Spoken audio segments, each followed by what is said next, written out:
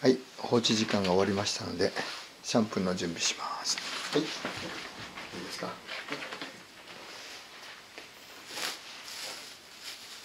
今は本当に車乗れ乗れるかいいけどね。うん。乗れなくなった時を考えるでも今だってさ、よ夜の買い物とか避けてるよ。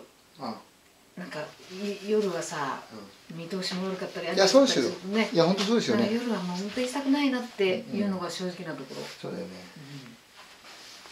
だから子供の迎えなんかもさうん。用事がなんとかなればできるだけ明るいうちに済ませたいなと思うもん。その通りですよ、ね。